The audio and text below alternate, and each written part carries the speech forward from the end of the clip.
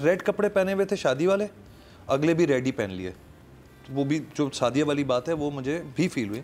वो रेड वो night suit है। नाइट सूट भी रेड है Red है और अगला कपड़े भी भी रेड है। है। वो जो वाली फील थी ना उसकी वो रेड में ही आनी थी तो फिर अगला अगला दिन जो कपड़े चेंज किए थे वो कुछ और कर देते। चलो ठीक। कि इंसान की बच्ची बनो खराब की उससे मैंने इसी घर में ओके। इन इस मसले में मेरा बनता ही नहीं है। लड़कियाँ बोले मैं क्यों बोल? रहा हूँ ठीक है कपड़ों को लेके। लेकिन वो अच्छा फिर उसने वो फैसला किया है कि मैं माँ बाप को लेकर आऊँगी। मैं अभी आ रही हूँ आप रेडी हो जाएँ ठीक है? ये बिल्कुल नॉर्मल बात थी क्योंकि शौहर से उसकी बात हो गई है उसने कहा तुम ले आओ।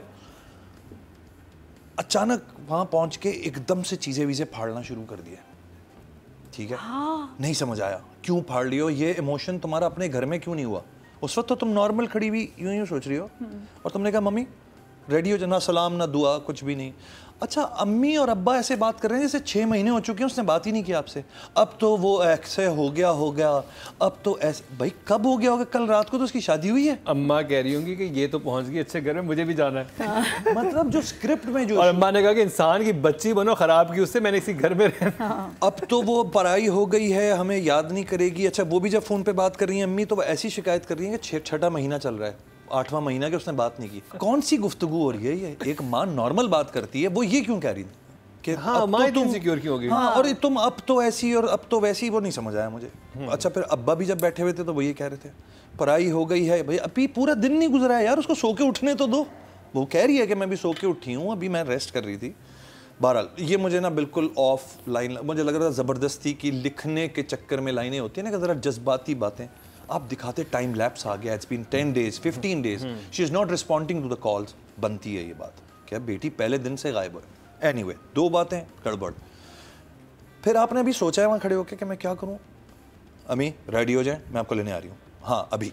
नो सलाम दुआ नो नथिंग ओके फाइन आप इस तरह बात करती हैं अपनी अम्मी से हम तो नहीं कर सकते थे भाई। कितनी भी सिचुएशन फिर आप वहाँ गई हैं आप अचानक किसी और फ़ेज़ में ये फाड़ लिए हैं वो फूड़ लिए हैं। क्या हो गया एकदम? वॉट हैपन सडनली कोई लैब गाड़ी में आते हुए गुस्सा हाँ। किसी चीज़ को उस घर में वहाँ जहाँ से आपने फ़ोन किया था कोई चीज़ पटकती हैं आप कुछ करती वहाँ से एलिवेशन लाती सिंह एक होती ना एक साइनर्जी होती है। कट के बाद कट की तो वो एक साइनर्जी का वही नहीं था, कोई बीच में नहीं था, और सीन आना कुछ चाहिए था, हाँ। और सडनली वो एकदम से हाइपर हो जाती है माँ को देख के। माँ के साथ सारी बदतमीजी वो करती है। अच्छा माँ भी कुछ है? अच्छा माँ अच्छा माँ जो है माँ को तो पहली रात के बाद आई ना वापस माँ को तो पूछे बेटा क्या हुआ? Are you okay what what's wrong वो तो पूरा वो कस्टर्ड रख के बैठी हुई है।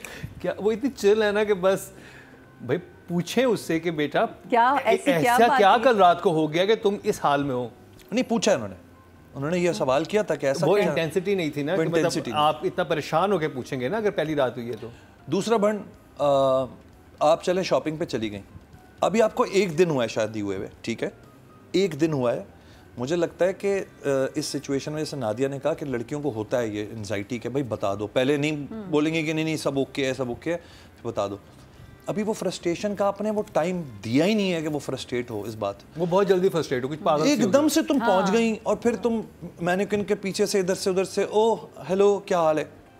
बहुत ही ना पुष्ट एक Force था। फोर्स था। नहीं पहुँचना चाहिए था। फिर अगर पहुँच गए तो रात में जिस वजह इसकी बात होती है नमान एजाज का ये कहना बनता था कि तुम्हें आने की ज़रूरत क्या थी? हाँ, कोई कॉन्फ्लिक्ट डालते आप? डालते। कि क्या ज़रूरत थी तुम्हें? कि तुम सवेरा के सामने आके खड़ी हो गई थी तुम्हें नहीं करना चाहिए था। वो बिल्कुल ही नहीं वो सॉरी मैं उसकी माजरत आप उसकी माजरत नहीं कर सकते। She is acting the way she has to act Savera ने बिल्कुल वही रिएक्शन दिया कि मैं जब इसको देखती हूँ मुझे गुस्सा आता है। कुछ है गड़बड़ ये कुछ छुपा रही है ये कोई गड़बड़ है।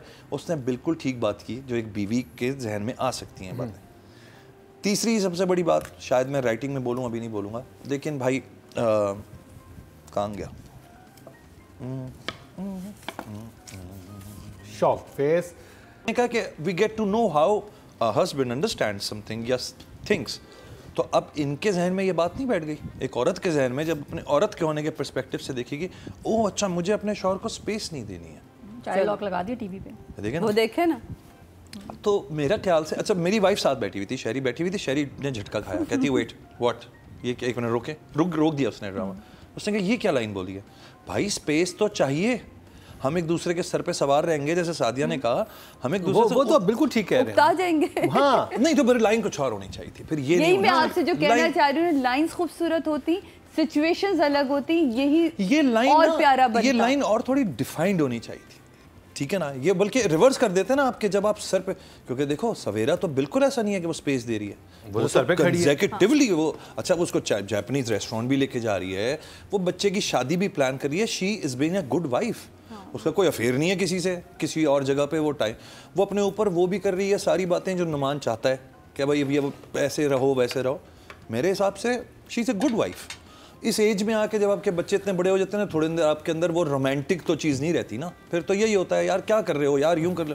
और वो ये भी कहती है कि अभी ये शादी वादी का हो जाए फिर हम कहीं वेकेशंस पे चलेंगे आप और मैं तो मेरे हिसाब से कि तो वो तो ना तो कोई गैप दे रही है ना कोई वो मुस्तकिल पीछे पीछे पीछे तो बात है कि कुछ बुरा नहीं लेकिन वो इसको एक्सक्यूज बना रहा है कि तो इस वजह से मैंने दूसरी शादी की। हाँ लेकिन उसको पॉजिटिवली इतना बोल दिया गया है कि वैसा लगेगा कि आपने क्या किया? आपने मर्दों को ये बात जहन में बिठा दी है। कि यार वो स्पेस ना हो ना फिर अगर बीवी ना दे रही हो वो दे रही हो तो गलत। Wrong message and probably portrait in the wrong way वो कुछ क्या और कहना चाह रही थी राइटर वो कुछ और कह गया। तो ठीक है बाकी का अम, बाकी अम, जो अम्मा वाली बात है वो मुझे लगता है कि वो सडन ज़रूर लग रही है लेकिन probably that is the change that the writer wanted in the mother's character कि वो क्योंकि गाड़ी वाले सीन में जो उन्होंने परफॉर्म किया था वो बड़ी वैसी हो गई थी हाइपर सी गाड़ी देख के। तो इट स्टार्टेड शोइंग मैंने वहीं से पकड़ लिया था। कह रही कोई लालची सी है ये? और जब इयरिंग्स देखे थे हाँ। और पागल हो गई थी। और वो पागल हो थी। टपक रही थी। हाँ तो कहीं ना कहीं उनके अंदर जो उनके तो फिर उन्हें ट्रू सेल्फ दिखा दी कि आओ बेटा जरा पीला जोड़ा पहन के बहुत प्यारी लग रही हो। बताऊँ? बेस्ट एक्टिंग मगर वो जो तुमने बात की ना कि कौन माँ ऐसी माएँ हैं और ये कोई बुरी नहीं है। मेरे हिसाब से वो वो अपने हिसाब से वो कर ज्ञान ठीक है, दे रही है। वो सही ज्ञान है कि वो कह रही है, तुमने अब ये स्टेप ले लिया है तो फिर अब इसको successful this is how you will हाँ, गो अब- अब live with it accept it तो मुझे लगता है कि वो गलत नहीं है। डिल्यूजनल नहीं है Delusional. स्ट्रेट फॉरवर्ड मान कि ये ये कि मेरी बेटी ने ये रास्ता चूज़ किया तो अब इसको बेहतर तरीके से अंजाम दो। फिर वो टाइम देती है और चली जाती है वो तेल वेल लेने के लिए। और गैप में उसने फ़ोन किया है। She know she applied the formula जो माँ ने बोला it worked then she comes back वो कहती है माँ तुम ठीक कह रही थी। कहती मैं कह रही हूँ तुम तो आई थिंक वो पार्ट सही है। जब आपके बच्चे इस लेवल पर पहुँच जाते हैं यार बच्चे मर्डर्स कर देते हैं।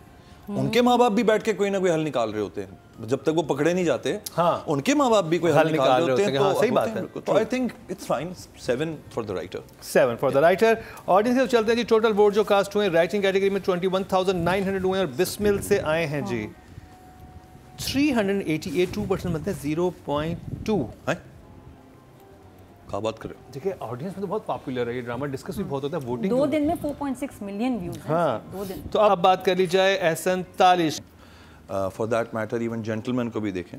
तो सिनेमैटिक है। इसमें ना 90s वाली लाइट का ना एक वो सफ़ेद दीवारें अच्छा क्यों वो कमरा नादिया को भी कंफ्यूजन हुई है कि वो धूप कमरा धूप आ रही है बहुत अच्छा लग रहा है नहीं? वो अच्छा तो लग रहा है बट हर कमरे की एक ही लाइट है। एक लाइट है ना? वो जो उनका घर है वो इतना फैंसी है जो गरीब वाला घर है it is so bright all the time हाँ और कितने कमरे हैं उस घर कितने कमरे हैं वो जो ब- उनका जो गरीब वाला घर अच्छा खासा घर लग रहा है। जी। वो गरीब ही नहीं लग रहे कहीं से। और वो पर्दे चमक रहे हैं और हर जगह से जो है ना लाइट आके सफ़ेद दीवार को और सफ़ेद कर रही है हर चीज़ सफ़ेद सफ़ेद सफ़ेद।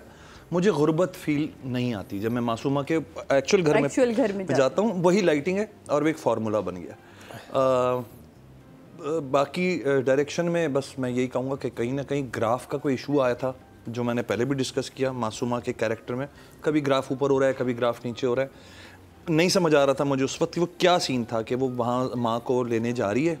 नेक्स्ट सीन में she is like all you know hyper उसकी एक नई साइड दिखाई ना कि वो बदतमीज थी ऐसी थी जिद्दी हाँ। थी हर चीज़ मनवा लेती है माँ बाप से तो उसका अब एंगर इशू भी दिखा दिया उन्होंने कि ये है। मेरे ख्याल में जैसे माँ का एक ट्रू कलर नज़र आया वैसे उसका भी नज़र आ गया Yes. ये इसके अंदर ये टेंडेंसी भी है।